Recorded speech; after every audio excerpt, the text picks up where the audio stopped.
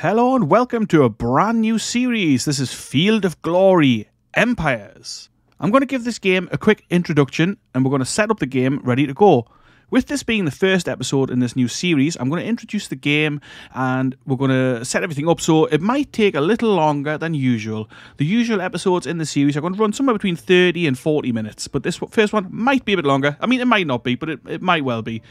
So, Regular followers of the channel will know I've just completed a Grand Tactician campaign and I'm looking for something new to start up. So I went through my Steam list. I've got lots of games on Steam. Some I've played a lot, some I've played a little bit, some I've played a lot in the past and then no more. So this is one of those. I used to play this game quite a lot. I've got like, ah, well, not lots and lots, but I've got about 80 hours into it. But I've not played this game for, I think, like three, four years.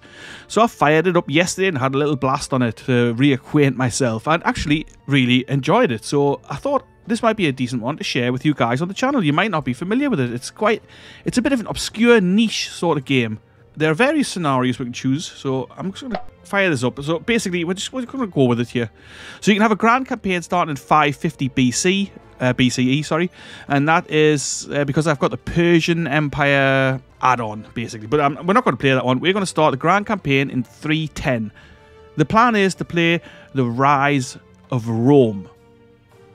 But before I crack on too much, if you're new here, it'd be awesome if you leave a like, leave a comment, subscribe to the channel. Uh, there's regular content on here. I'm doing between 5 and 10 episodes a week. And if you are a regular viewer of the channel, don't worry, this, this series won't interfere with the current things I'm playing. So I'm still playing Crusader Kings 3. There's two campaigns on the go there and they will carry on. They, have taken a little backseat, the Crusader Kings, because I've been into Grand Tactician lately. I've really enjoyed the latest series that I did on that, and I will do a new series on Grand Tactician as well. But with that in mind, I'm going to crack on and set this one up here. So we're going to start in 310 BCE, and there's another there's a, another scenario starting in 281, but uh, we're going to start with 310. I'm going to play this on balanced, ideal for a challenging yet not too difficult game. The AI will get minor advantages in loyalty, decadence reduction, and upkeep. So that, I feel like that's probably a decent one to start with because I don't think I'm experienced or I can't play difficult, very hard, insane, or suicidal. Absolutely not, because I'm not that familiar with this game. Like I say, I fired it up yesterday and had a go to reacquaint myself with the basics. But there are some of the game mechanics in this that I'm not 100% on, and hopefully we could discover those together and work this game and see how it goes. You know, in part, this might be uh, almost like a showcase of this game, actually, because I don't think many people bought this game at the time. I can't remember when it came out, uh, maybe 2019 or so. Um, but it's, it's been a while now. I did buy it on release. And to play this game properly, you actually need two games. So you need Field of Glory Empire, which is, is, is this, or Empires, uh, and you also need Field of Glory 2, well, you don't need it, but it enhances the game experience. With Field of Glory 2, you can export your battles from this and fight them out properly on the Field of Glory system, which I will show you, obviously, when we get into a battle. So it's this is kind of two games in one. Field of Glory 2 and Field of Glory Empires. You can't play this without Field of Glory 2, but your battles are a little bit more basic. So I will also show you a basic battle when we get started. So we'll have a basic battle. Well, I mean, the smaller battles will be the basic battles in this because it's not worth exporting, but the larger battles are fun to play exported in Field of Glory 2. But we'll get to that soon. So we're going to play this on balanced. I think that I think that's a good way to start it. I played it on balanced yesterday. It wasn't too hard and it wasn't too easy. It was okay. This is just it's what I'm looking for. So let's select that. Now, the game's going to load in. It's got all sorts of bits and pieces on here. Now, this game is made by Slitherine and AGEOD. Both are, both are like games developers that I, I enjoy their games. I've played them for years. Slitherine I played back in, I don't know, like 2000 or so. They brought out a game called Legion, which was great. Great fun. So, as you can see here, here we are, Grand Campaign 310. Uh, Alexander the Great has been dead for a decade. His successor, blah, blah, blah, blah. Anyway, so so we're starting, and this, as you can see, there's a lot to choose from. It's it's a large world. All these colourful parts are playable nations, nations, tribes. You know, uh, we'll call them nations for, for, for the sake of ease. But we're going to play with Rome. I like I like playing as Rome. I mean, it's obviously it's fairly easy. Difficulty three out of five. Well, I'm saying it's fairly easy. If I get my butt kicked on here, it's not that easy, is it? but anyway, so if we play as Rome, we can see we start off with three little regions. We've got an army on the go already. Um, but there are obviously you can choose major nations. So we've got Rome, Antigone, Antigonus. Antigonus. I'm not sure. If I butcher these names, you know, it's I'm not an expert. Carthage. I'm not even going to try that one. Uh, Lys- Lysimachus is not actually as hard as it first looked. Macedonia, Ptolemais, and the Seleucid Empire, but Seleucus, Seleucus, Seleucus, not sure. And then a whole host of remarkable nations. So Syracuse, uh, Sparta, you know, Pontus. If you if you've played like Roman things, Rome Total War, you'll know these these factions. They're basically the same. And um, so it, this game is pretty. It's, it's a grand strategy game for sure. And then other factions, there's bits and pieces. I mean, so we could play in Britain. We could play as the Bretonii. Bretonii? Not sure. Brigantes, um, you know, Hiberni, the Picts and Caledonians. Anything you want, really. So there's lots to choose from. But I, I think we're going to play with Rome, certainly for this first playthrough. And I'm aware that this is not a hugely popular game, so I guess if nobody watches these videos, we'll only have the one playthrough. But uh, that's that's fine. I mean, it's I'm only a, a, small channel anyway, so it doesn't really matter. I like to play the games that I like to play, and if other people want to watch, then that is amazing. But uh, yeah, there we go. So we're going to choose Rome. Let's go. So we, we are Italic. That's the that's our our people. We're, we're Italic people. So let's have a little quick read here. At the start of the game, Rome is just emerging as the dominant power in central Italy. So yeah, you can see we've just expanded from Rome itself. Like so, basically, it's no longer a city-state. It's now a regional power. By 281 BCE, it had, it had come to dominate the south, but this also brought war with Carthage. By 202 BCE, Rome had survived near destruction, however, the start of an empire spread over Italy, Spain, and North Africa, uh, and with growing involvement in Greece. The next two centuries saw territorial expansion, we know what happened to the Roman Empire. We don't need to read the rest, I don't think. Uh, so we start the, we start as our ruling party is the Popularis Party, so that's kind of that's kind of your role. You're playing part of a like an overseer of the military for this for the party. I, I think anyway. That's kind of how it feels. Um, and we start at war with the Senones, which are these guys here, Celts, I believe, like Italic Celts. Right, well, they are Celtic, but they live in Italy. so as you can see, if we, if we choose to start with these guys, the difficulty would be five out of five, and interest three out of five. I don't know what, exactly what the uh, gauge the interest on. But let's have a look at uh, gameplay. Rome has many advantages, a few drawbacks. So, I mean, Rome is obviously a power that rises hugely, so you've got potential to grow. And that's one of the reasons it's obviously fun to play as the Romans, to see if you can emulate what they did. Modifiers. So you start with a few different pieces here. Uh, cursus, honorum, honorum. I don't, I don't know. Like, like I say, if I'm butchering this in, I'm butchering it. Uh, bonus to the number of leaders this national nation has available. The Roman cursus honorum was a political system where young politicians had to follow a specific order of challenges, civic or military. So, like, people went through the military before they became senators and things like that in the Roman history. Uh, ensuring a decent level of expertise, which was acquired progressively. Leader force pool plus two, leader quality bonus plus two. Pax Romana. Rome can assimilate more easily than other foreign populations. It also grants two special buildings, the Colonia and the Municipium. Municipium. We'll get to that uh, as it comes, but basically, it's uh, converting a conversion of your culture. You get a ten percent bonus. Builders. These people are expert artisans and builders, skilled in construction work. High military experience, so leader force pool plus two. Uh, bonus of 15 XP when a unit is created, and leader quality bonuses again. We're a republic, and we have an aristocratic elite.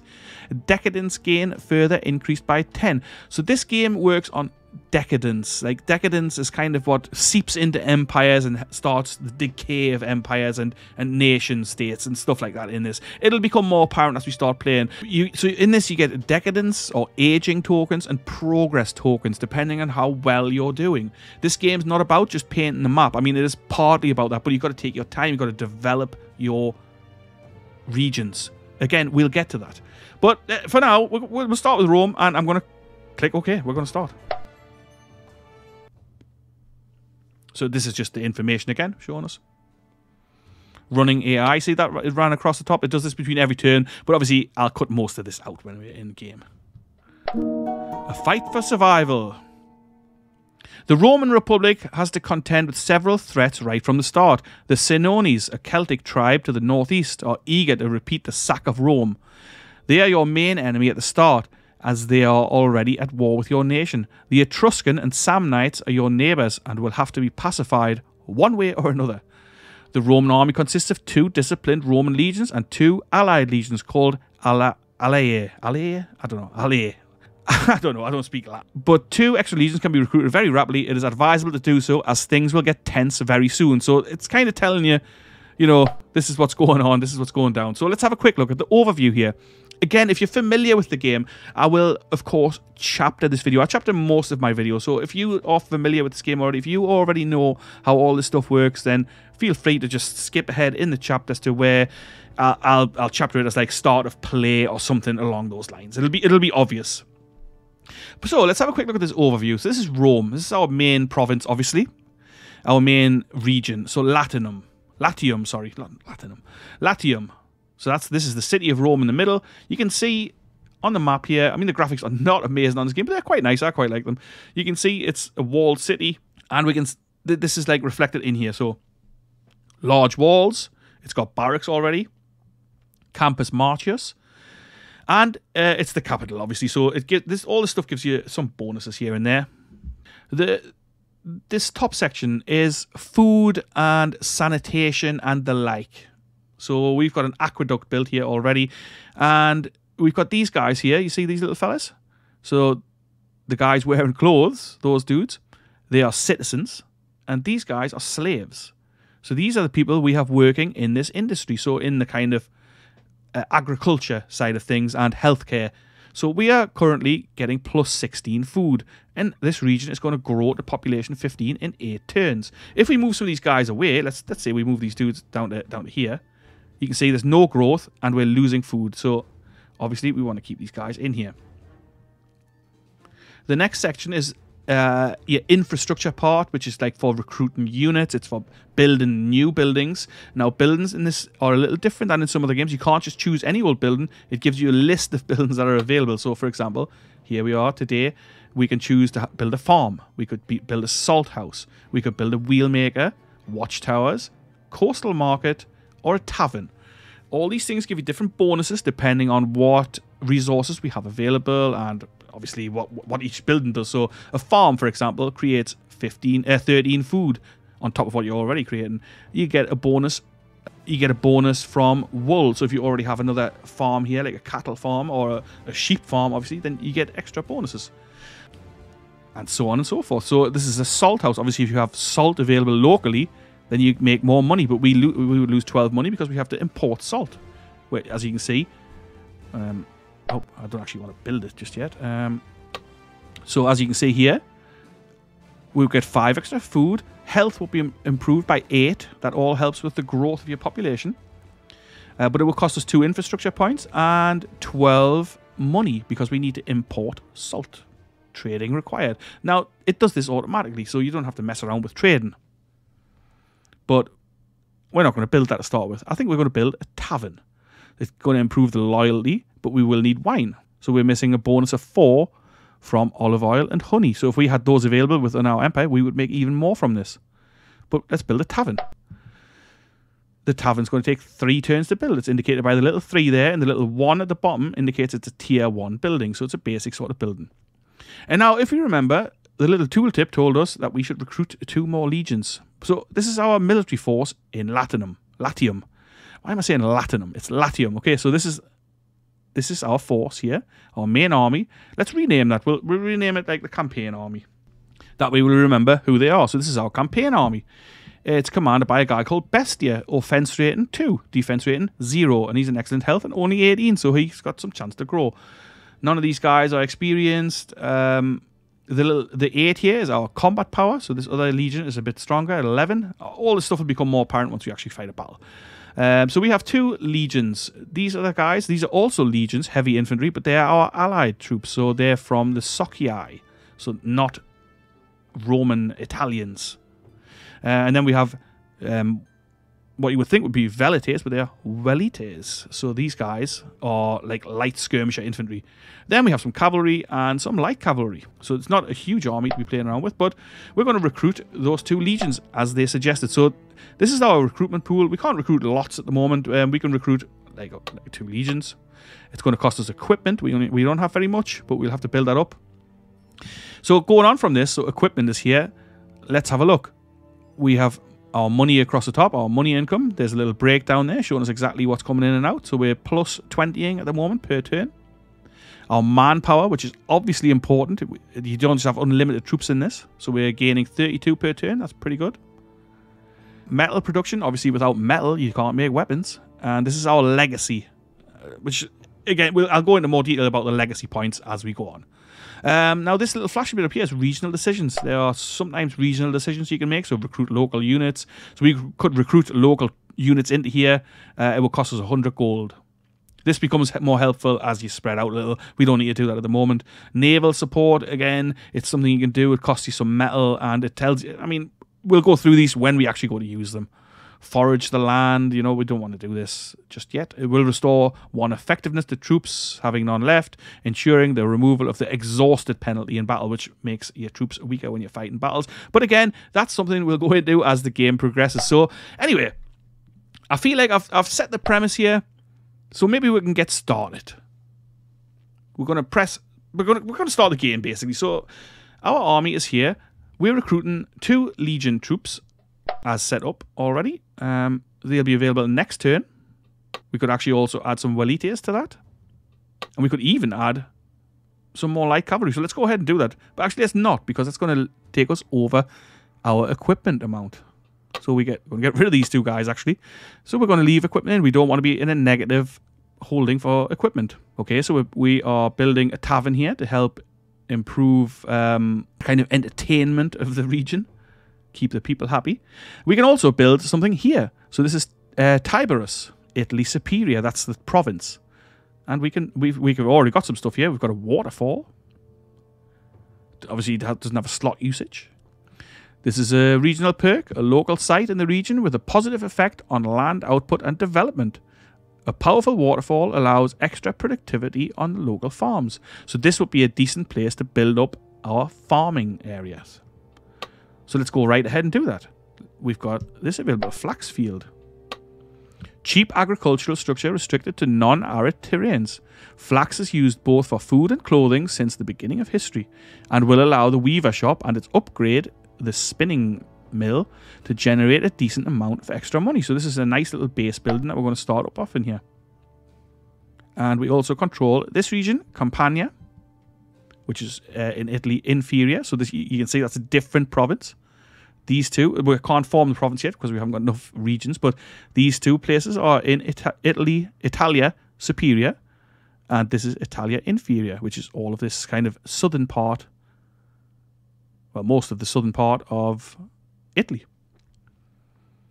You can see these little spinning bits going around the cities here. So that, for example, is for Tarentum, which is an objective of ours. So we should capture this place. Same with this place up here where the Senones are. So that's Ancona in Picenum. That's a place we need to capture, and that's a place we will capture. But first, we're going to recruit these troops. Let's see what we can build in Campania. Again, we've got some decent structures here already. We've got solid walls, a training ground, which is going to improve the quality of troops coming from there. Stud, which is obviously eh, for horses a wheel maker, we've got a market already, a harbour, a commercial port, and paved roads. So the roads are very important, and they will show on the map so we can see the roads are running here. The little faint lines. What's available to build? A herbalist, that's a health building, which is also going to improve manpower. A ranch, which is going to give us five food. A decent low tier structure also produces cattle usable by the smokehouse, tannery, taverns, and caravan buildings, will slightly enhance the production of farms. But we're going to go with the herbalist, I think. Okay, so I feel like that's a decent first turn. We've got a few units queued up to recruit, and let's end the turn. So this is kind of the tokens I was talking about. So see, see these empty tokens? They're aging tokens that these occur as empires or tribal chiefdoms regress. It'll become more apparent as things go on. So we are ranked 66th at the moment. We just got plus 7 legacy. Um, so we want to work towards getting progress tokens, which will then bring us up to a glorious republic, and then eventually we can go into an empire. All of this probably sounds like gibberish at the moment, but it, it'll make sense. So let's have a look then. We've got two new generals available to serve Rome. I mean, we don't need them. There's something going on here. The presence of pestilence near Tib Tiberias leads to serious epidemics. So we've got problems here. So for three turns, uh, there's a an epidemic outburst. So this is obviously things like this happen all the time in the game. That's going to give us a loyalty penalty of 10, health penalty 25%, manpower penalty 50% because obviously everyone's sick.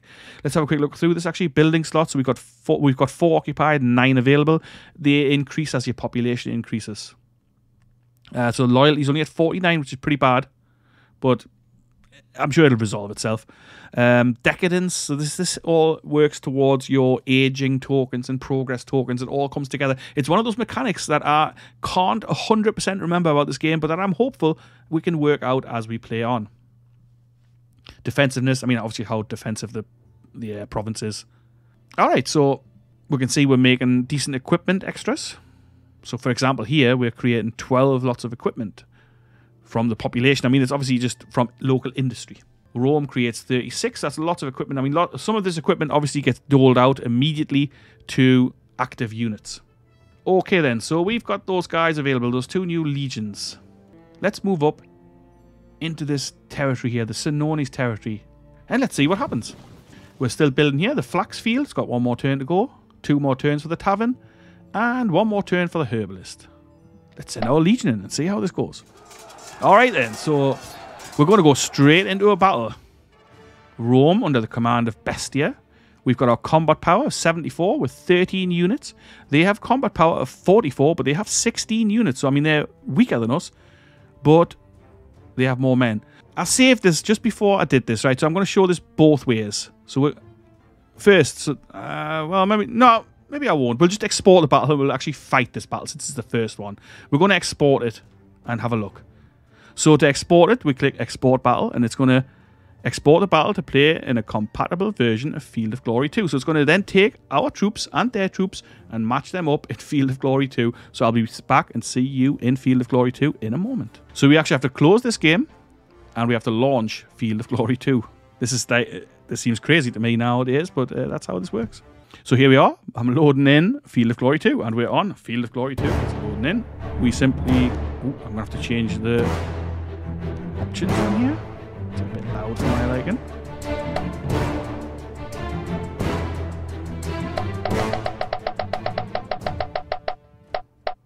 Uh, the difficulty in things doesn't make any difference in this.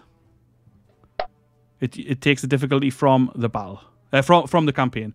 So let's have a look here. Battles, and we're going to go to Empire Battles, and it should just import the game straight, our battle straight from there. Right, so the aim of this game is not to kill all the enemy. I mean, you can, I suppose, if it happens, but the aim is to rout 40% of their troops and 25% more than you have lost. So if we rout them 40% and we've lost none, or we've lost 10%, that's fine. But if we've lost 30% of our men, we would need to rout 25% on top of that you can add one more general. So let's proceed. So this is the Field of Glory system. I've also got uh, Field of Glory Medieval, which is the newer game, which is pretty good as well. But this is the ancient version. So you can zoom quite close in. You can see these guys. These guys are our legionaries in red. These guys are the allied legions. And these dudes are our cavalry. So we can add another general. Let's go ahead and do that. And we'll just give it to one of these guys. So you can, it gives you a bit of information about these dudes. So this is one of our sub generals. So let's have a look at these guys. So this is like the fourth cohort of the early Legion, early Republican Legion. So these guys are veteran, Hastati, and Principes. These guys, who are a little bit different and a few less of them, are the Triarii. You can see here that armor, so they have some armor. Quality is above average. These are the allied troops. They are heavy foot, uh, impact foot, and swordsmen. So these are impact fighters. We're going to pop these guys in the flank in these woods. So this is the deployment phase. So we're quickly deploying. Okay, so our legionaries are really good at fighting in the open ground, and that's exactly what we're going to do with them. I'm going to pop some of the allied troops on the flank, actually. So we're going to have two on that flank and two on the other flank. So this is our commander, Bestia, is with this cavalry unit. So we don't have very many troops at all. These guys in the front are the Vel- uh, so they are our javelin troops. You can see uh, quality is average. They're all average here. They're all average quality. Um, but the quality of our infantry is pretty good. So above average, highly superior, um, highly superior again, highly superior, highly superior, above average, and the allies are above average as well. So they are pretty good troops here on the whole. And like I say, I'm by no means an expert at this game at all. Uh, I haven't played it for a long time. Uh, so if you if you are familiar with this game and you've played it a lot, do drop it in the comments if I'm what I'm messing up. I'm bound to mess some stuff up. Uh, it always happens. so uh, yeah, if you know better, then do mention it in the comments. But for now, we're going to end deployment. We've just I've just kind of formed them up basically in a line. Here we are. There's the enemy. So they're coming straight forward. Uh, this is actually going to be a really tough battle. The troops are reasonably poor quality. I mean, some of them are at least, which is one thing going for us, I suppose. We've got to watch this rough ground because that's going to disorientate some of our heavy infantry. Um, we are outnumbered with cavalry. They've got a lot of noble cavalry on their left flank, so we're going to disperse some of our infantry that way. In a moment, anyway. First, let's move forward with our light troops. Hopefully they can harass the enemy a little. Urban militia, so these guys, I doubt they'll get into the fight, but if they did, we would be able to rout them pretty quickly. We will have to be careful with our light cavalry, but I'm going to advance them forward.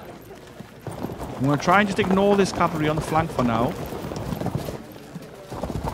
We've got our heavy cavalry there to, to watch the flank, and we'll stick a couple of these units that way.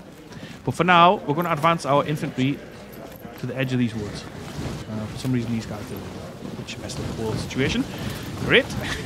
so we will shift some of these guys that way to deal with the cavalry threat on the flank, and they've also got chariots on the flank.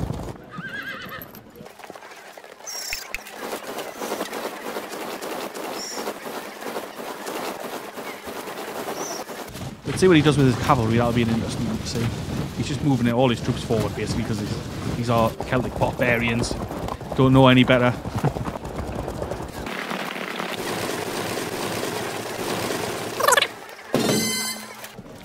right, then. So we're going to move forward. We're going to. These guys are just going to try and slow down the enemy, basically, and take out a few of them.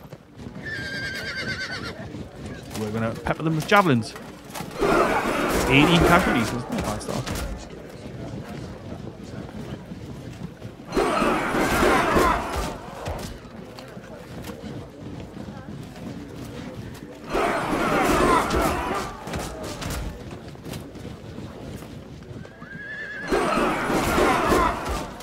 So the enemy will no doubt try to charge these Velites, which is fine. They should they should escape from that. They should be able to pull back. Um, okay, I'm going to be a bit more careful with these guys because we do not want to advance into the rough ground. We want to fight them in the open ground. So I'm actually going to advance them instead of a unit altogether. We're going to advance them like this.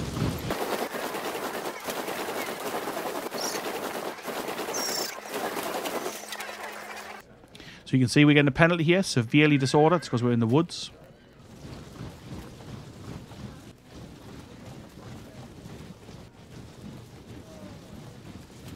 So we're going to keep these guys as a reserve. This is this is absolutely going to be a tough battle. So these guys are going to refuse the flank.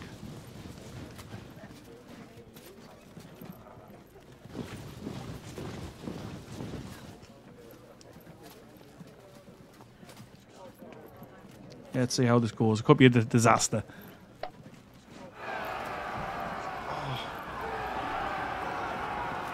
I didn't even attack the those guys. Never mind. Yeah, so this is this is what we wanted. We wanted to string string them out a bit. We wanted our men to cause them trouble, basically. Oh, but they've actually caught into our Velites there. Nightmare. So those guys are going to break.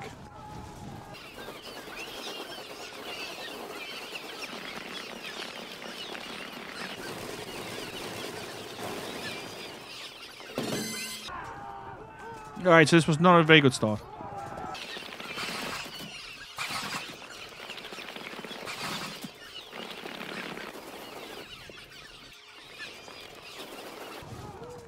I'm gonna send these light troops over this over towards the left flank. And these guys are screwed, obviously.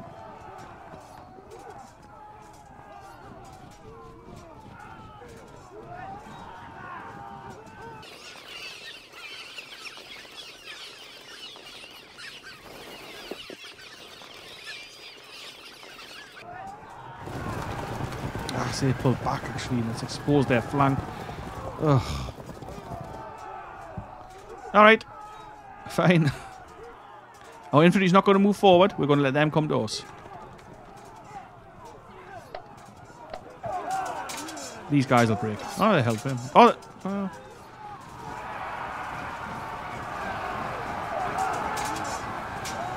Yeah. It's not a good start.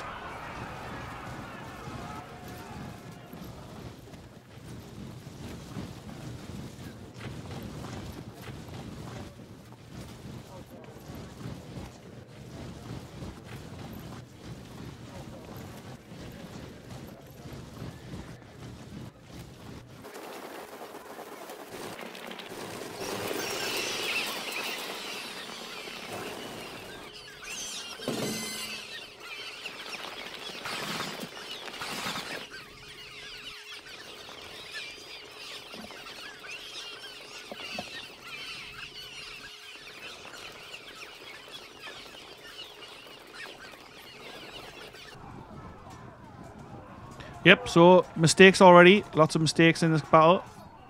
As per usual with my battles and campaigns. These guys are screwed, basically. I should never have sent them that way.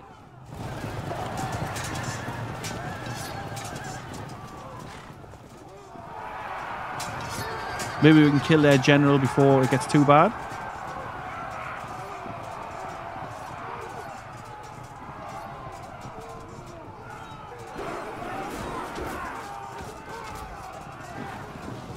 Let's see how it develops.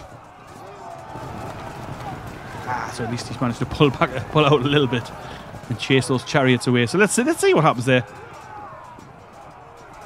Hmm. We don't want to overextend ourselves. These guys are finished, basically. They're going to flee. Uh, that's fine.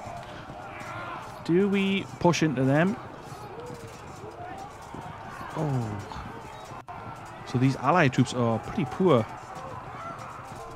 2% chance to win on impact, 32% chance to lose. That is actually a real, real problem.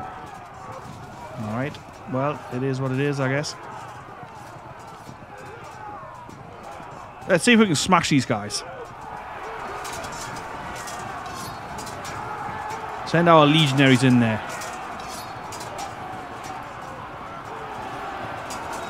That was a good one. oh, disrupted straight away.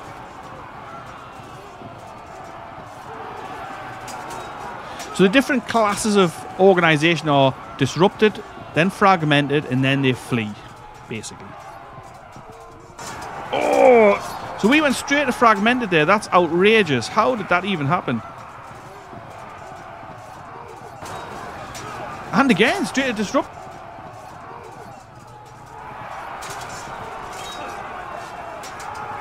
Hopefully that'll protect these guys to rally a little bit. I mean, this is an actual Legion unit.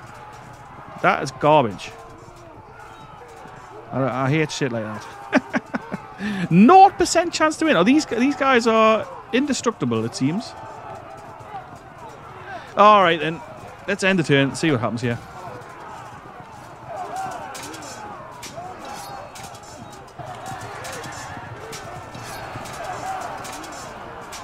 Those relatives are actually still fighting, so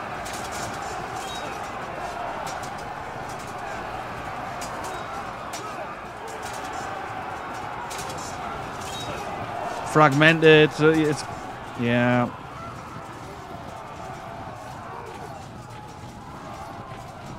It's absolutely possible I could lose this battle. In fact, it's looking quite likely that I will.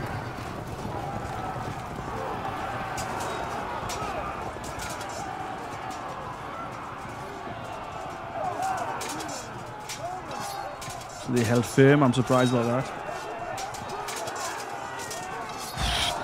So this legion is fragmented. I mean, what on earth?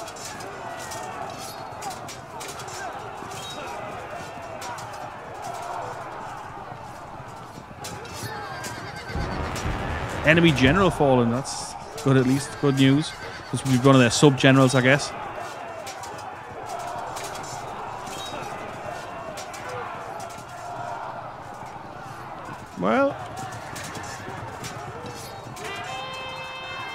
The was that the Velites rally, rally down to disrupted? So that's good.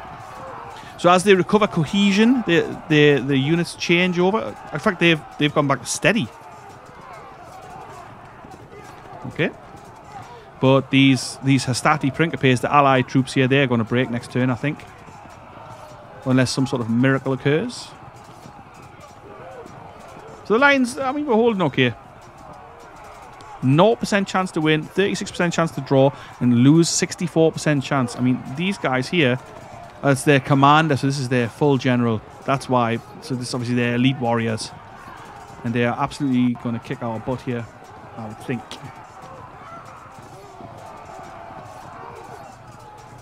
I want to keep these uh, there. They're going to chuck another bunch of javelins into them. Killed another 32. Excellent.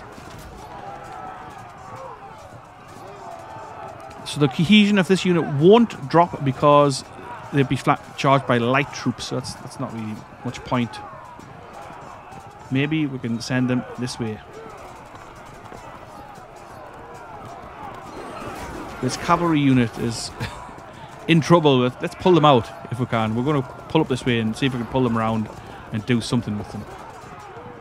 We've got some of our light cavalry in the rear. I'm going to stick some pepper in, into their urban militia troops.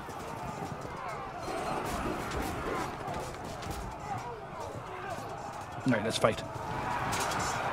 Oh! 55 casualties. Some of the some of these warriors are very, very tough.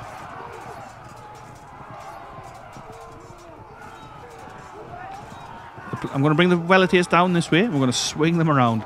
It's worth noting that to say that this game works on RNG almost exclusively, and it, yeah, it's, it, it definitely bollocks sometimes if you cheat a little anyway. And it's it's actually it is a tough game as well.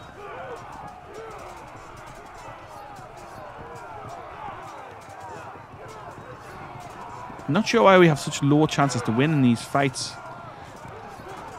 But we're going to bring them in to take some pressure off these guys and see how that happens. That's alright.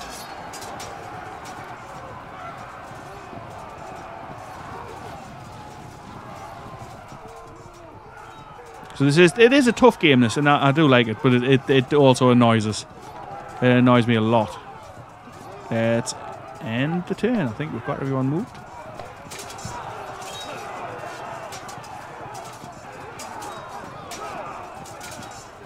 And that's some of their guys are out, and That's good news. But the units surrounded held firm, so they can't lose cohesion when allies rout. So these Velites are back to disrupted. Oof. Yeah, they've, they've broken. It takes us to 6% broken there on 4%. Oh, that unit's broken. I didn't see that coming. But these guys are away. Yeah held firm. That's good news at least. The rest of the guys held firm.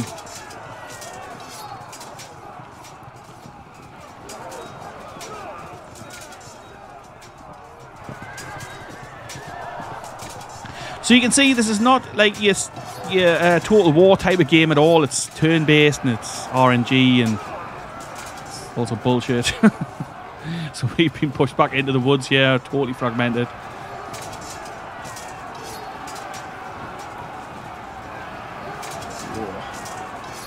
So this Legion unit is actually fighting three, three enemies now. That's alright, we're keeping some of their units busy chasing this cavalry, that's absolutely fine.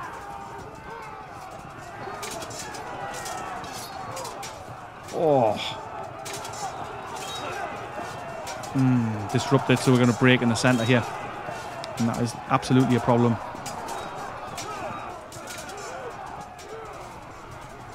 They pull back out of combat.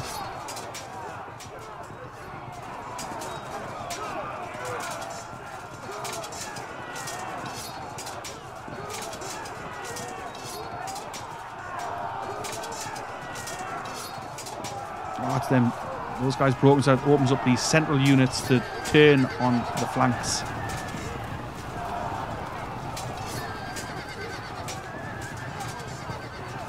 Our cavalry's in pursuit, that means we can't control them for now.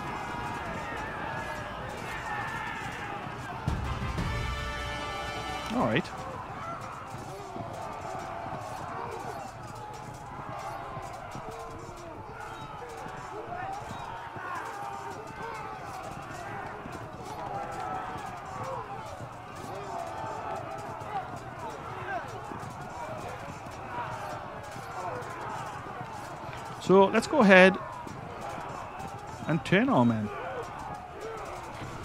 So we're going to smash into the flanks. These guys had a tough time in battle. I think I'm going to keep them back for now.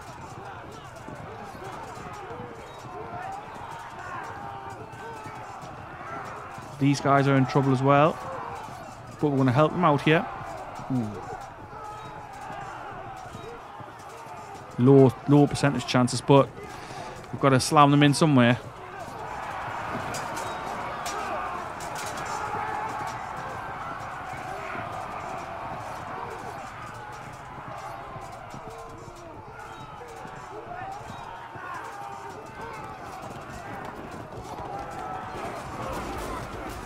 So now light cavalry to give these chariots a, a run for their money.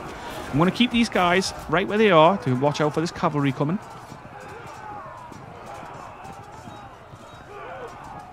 Keep swinging these light troops, the Velites, around. Maybe I'm going to send this troop over this way to the other flank.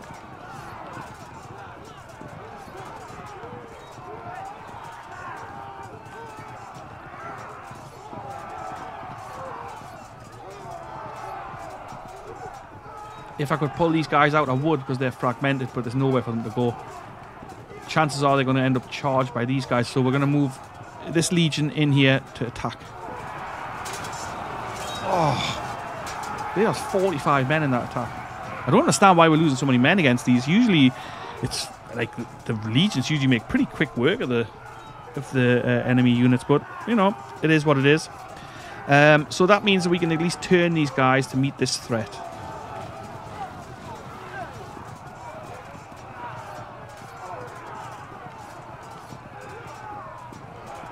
We could maybe even smash these guys out of the way. Let's have a look. Flank attack. Oh, so they've broken. That's excellent. And it's disrupted those guys. That's awesome. So these guys were the urban militia. That's really poor quality troops. Um, so hope if these guys can hold, which is doubtful, I'll be able to turn these allied legionaries and smash their flank. At least I think these guys are safe for the next turn because the legion's blocking them. We'll see. Uh, have we moved everyone that can move? I think so, except for these guys, but I don't know if I want to put them in there. I don't really, even though those guys need some pressure taken off. Let's do it.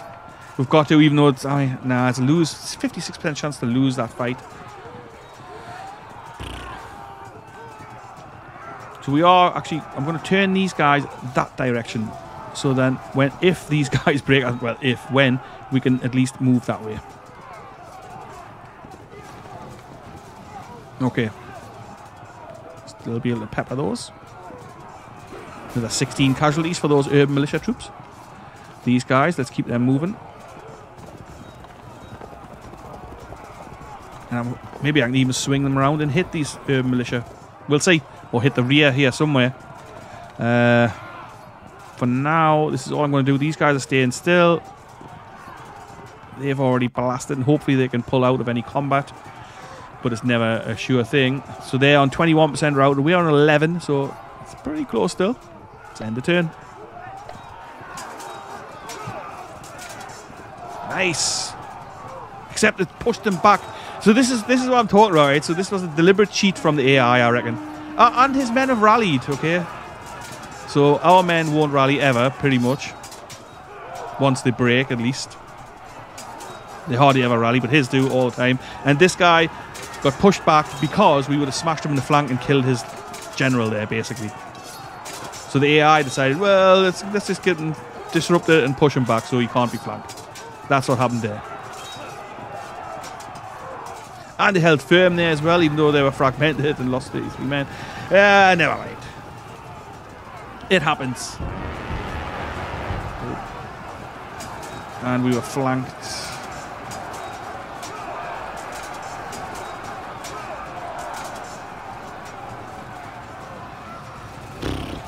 Pretty tense. A pretty tense fight.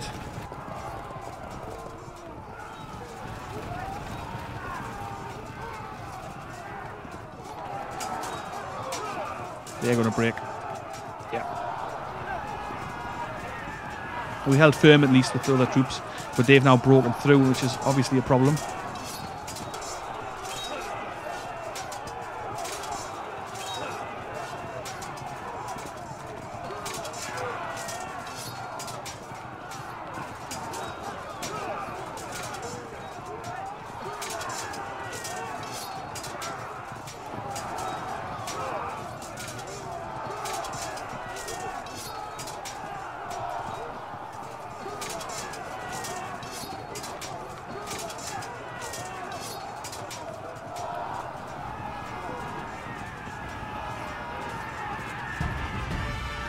You our men running for the hills. no no uh, reforming there. I'm going to smash these guys into the flank. Should take them to fragmented and they break. Excellent. At least that's some good news there. So these dudes are fragmented. We're not going to get the flank bonus here, but we're going to smash in anyway. Takes them to fragmented. And we're going to smash these guys in the flank as well which takes them to fragmented, and they break. Excellent. Of course, we didn't press on to smash into those guys, which would have been nice, but it didn't happen. All right.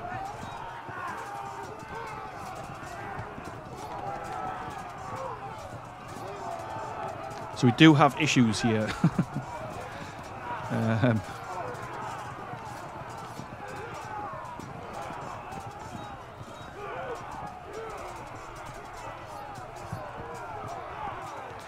I'm going to keep harassing these.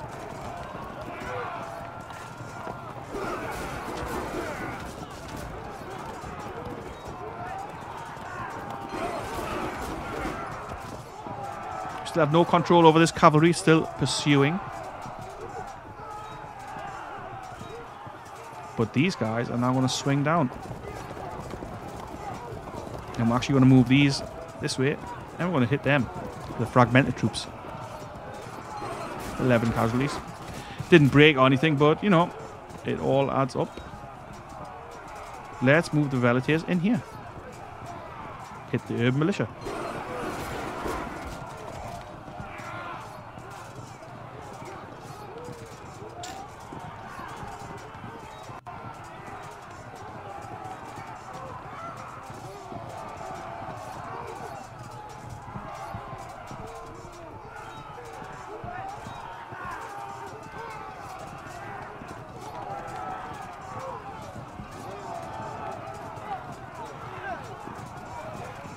So I'm going to pop these guys here. If need be, we can turn them and start blasting into them if this guy routes. Okay.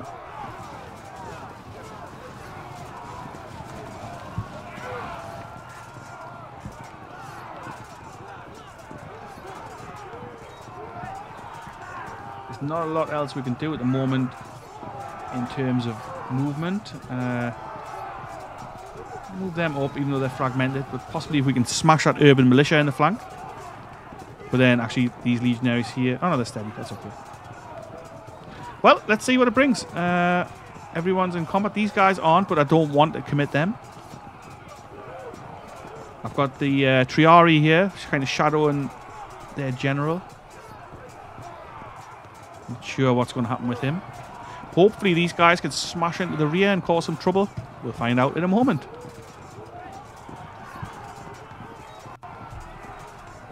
The these allied Triarii, they're going to stay facing that way, keeping us our left flank covered-ish.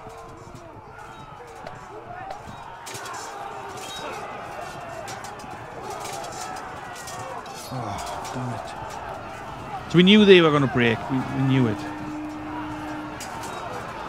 Someone rallied there. Some of their guys, no doubt. I didn't see who it was. No doubt I'll see when I edit the video.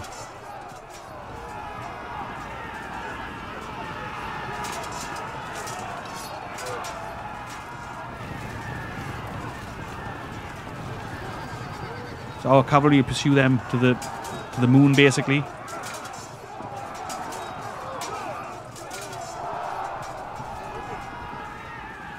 It's worth mentioning that when his cavalry chases your men, they'll chase them for maybe one turn.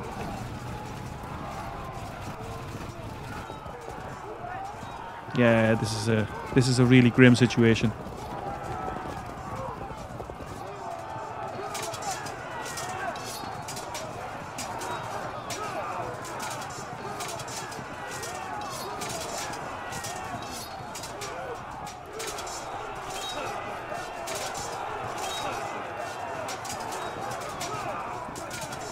Oh, yes! And that's a nice break there, but they all held firm. That urban militia unit's broken. Someone rallied. Was that our guys? Oh, some more our guys. Excellent. Just for now saying it doesn't happen.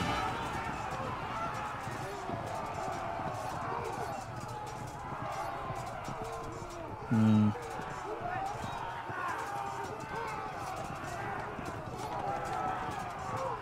Right.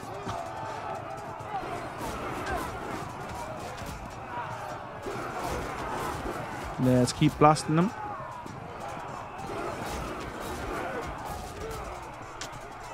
Hmm.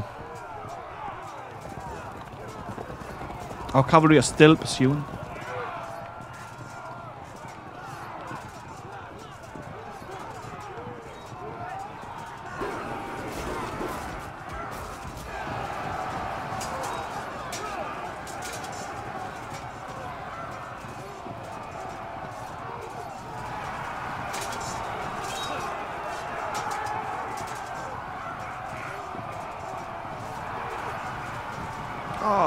Oh, really? So they've opened their flank up.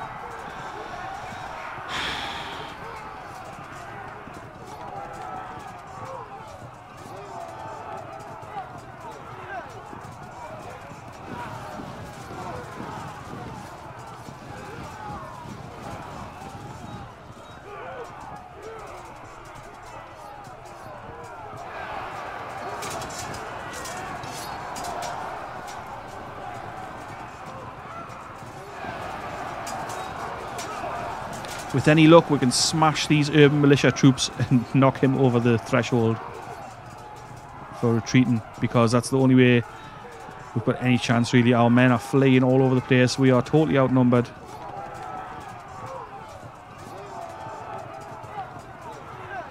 I think everyone who's fighting, who can't fight, is fighting. Let's just make sure, yeah. This is not good.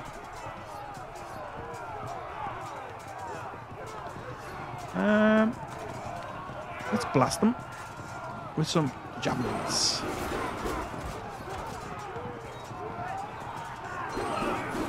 Doesn't really make much difference, but you've got to do what you've got to do.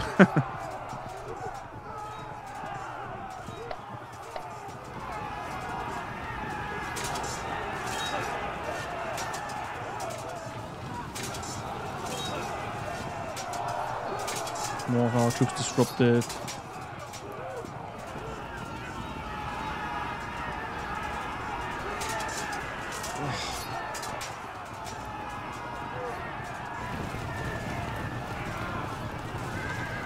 They've at least stopped pursuing for now. Urban militia held firm even though they're fragmented. Yeah, yeah, yeah. Obviously they did.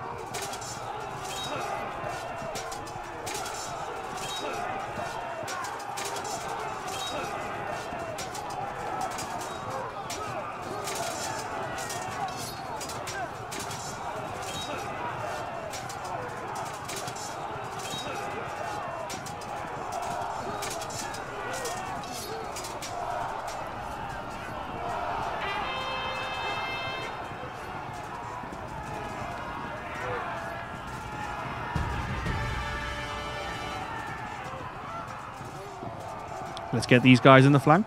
Send them running.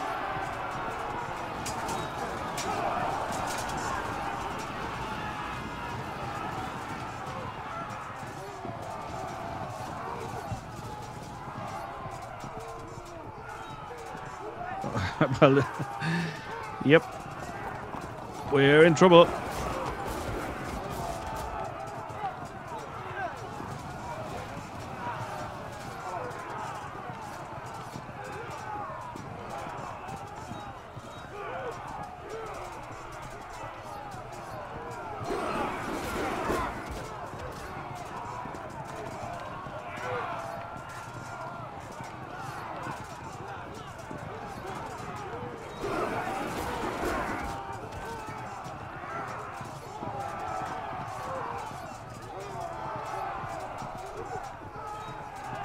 So they've actually broken, that's nice.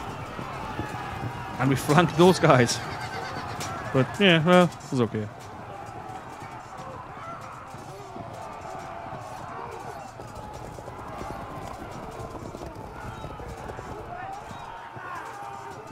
Ooh. I was going to charge them in, but I'm not so sure now. These guys are fragmented. Dead. Severely disordered.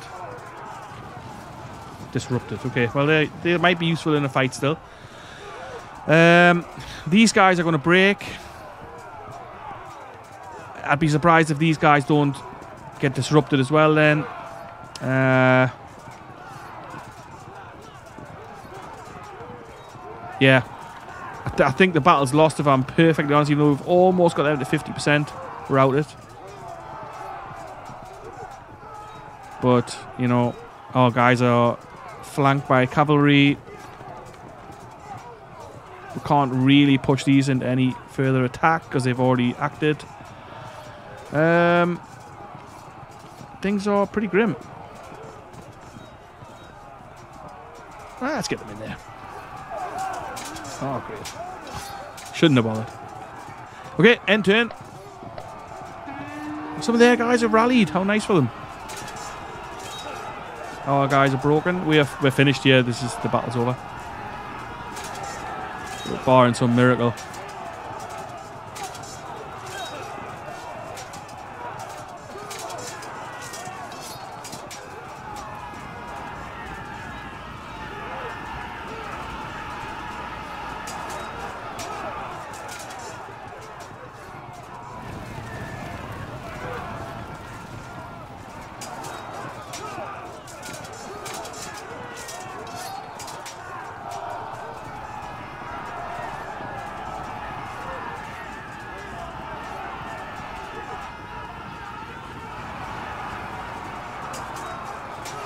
Yeah, that's it. We're done. Our whole left flank is collapsed.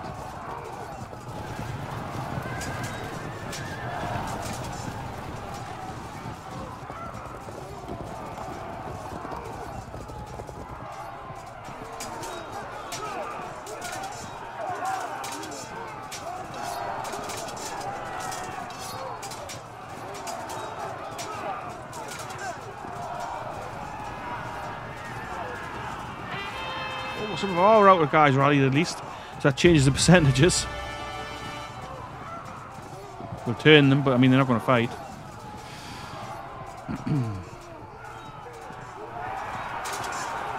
we had to engage them. Oh my gosh. We had to engage them to stop them ramming them in the flanks, but obviously because the AI fancies attacking him in the flank, it didn't keep these men engaged.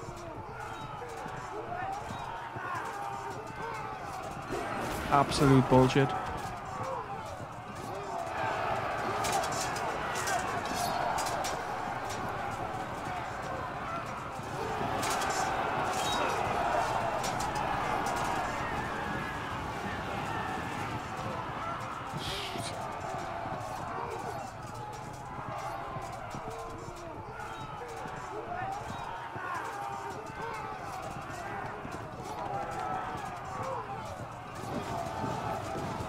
rotating them. We don't have enough points. Uh, right.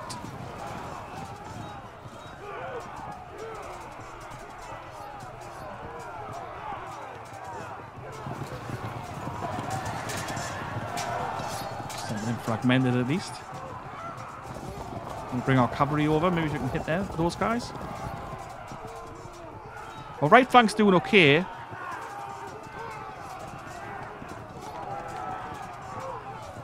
We can hit them in the flank. Actually, maybe that might finish them.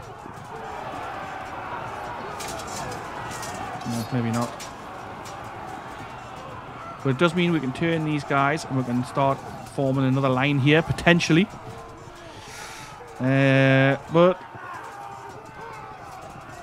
it's looking grim. It's looking really grim, actually. these these guys are stuck there pretty much. With these guys threatening their rear, these guys on the flanks. I've got nobody to move into support. These didn't.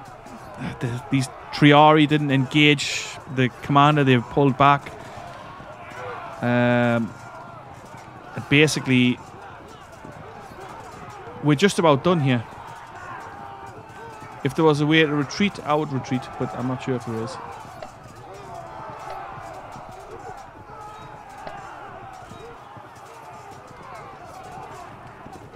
No. Alright.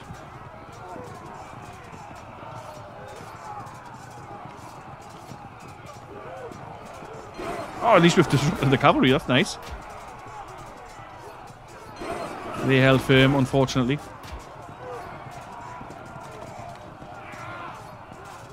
Let's see. I think I'll just come across this here. Next one moved. They're not going anywhere. That's it. So everyone's... Uh, so everyone's took their turns. Everyone's done their bits. And it's time to end turn and see what happens.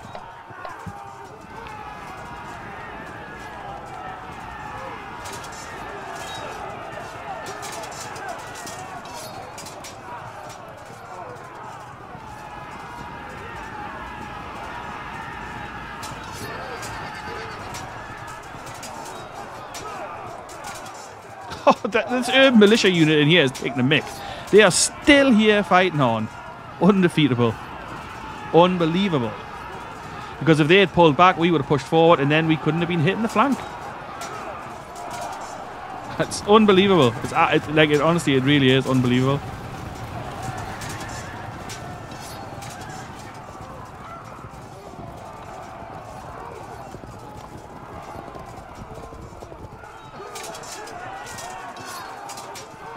Held firm. Nice.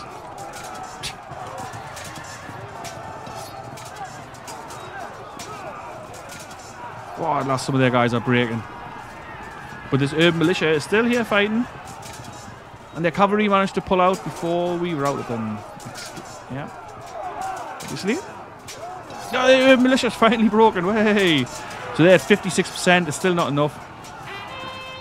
So these guys are at least ready for the fight, which is nice. Oh, all right, well, I'm not sure how exactly, but they, I suppose almost 60% of their forces routed. This was an awful, awful, grim, grim battle. So let's have a little, look at the numbers here.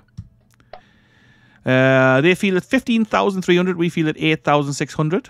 In terms of losses, we lost a grand total of 633 infantry killed, 1,279 wounded, and 113 captured or deserted. For a total loss of 2,000 men. The Gauls, the Gallic troops here, lost 8,000. So that's, well, I mean, I'm surprised. It was a tough battle. I really didn't think I was going to do it. Um, so, yeah, again, we're done here. So we're going to close and we're going to launch back into Field of Glory Empire.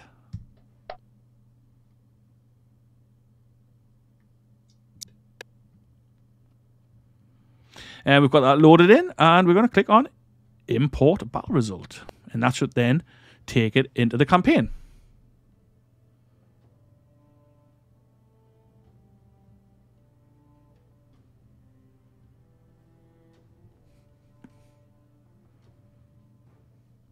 And then we can see the overview here. So the different colors obviously show how badly done in a unit is. When when they're green, they're fine. Uh, this kind of amber color means you know they've took casualties and they've disrupted a little bit. So our legion troops are pretty decimated, um, but they're still in the field. They're still standing. They will get re reinforcements, and there we are. We've taken the region. It's still processing the turn. And you can see that we gained a progress token for that because we captured one of our objectives. Uh, and here we are. Under the Popularis Party governorship, Objective Region Picenum has submitted to Rome, plus one progress tokens. That's how we got that. Our armies marched in Picenum and conquered the region from the Senones. It's a great victory. We have gained Picenum, which was the seat of power of Senones. Their treasury has been plundered, so we've got an extra 134 money. And obviously the battle had been fought. So what else has happened? We've built a flax field. We've received a new regional decision, bolster colony. So you can see that those are the regional decisions I was talking about earlier, where we had to recruit local units and things so we can bolster the economy. But I mean, none of these are eligible for that. We've built a herbalist as well. And the Popularis Party, which is our party, is gaining support in the Senate, which is very strong. So this looks like a decent place to end the first series, uh, first series, first episode. We have, uh, oh, we've been given a new objective actually, Illyrium.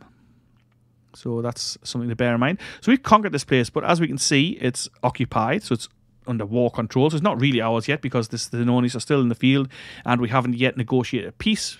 Uh, in which case we would be able to ask them to see, well, command them to cede the region to us if we are strong enough in war score. And it's under pacification, which obviously gives you a bunch of penalties, as you can see there, and it has a duration of four turns. So we can't just go and press on and capture and conquer the whole world in a few turns. You've got to take your time with this game. And that is something that I really like about it. So, I'm going to call this an end to the first episode. I know not that much happened in it because I was spending quite a lot of time explaining the game. Uh, I hope you've seen enough of this to make you think maybe this might be worth watching. It might be worth even buying the game for yourself.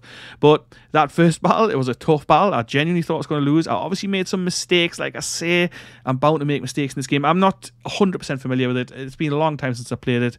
And it is quite unforgiving in the battles and also in the campaign, if I'm honest. Uh, but in the battles, the RNG can be annoying. The AI definitely cheats. I'm not just saying that; it definitely does.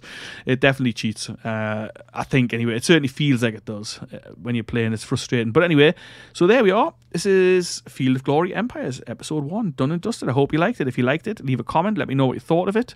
Leave a like. Uh, if you enjoy this kind of content, obviously subscribe to the channel. Go and have a look what else I've got going on. If you're new here, and if you're not new here, rest assured, I will continue with my usual series. Uh, we'll be cracking on with Crusader Kings in the coming week. So, whatever you're doing, I hope you're having a great day, and I will catch you later. Ta for now.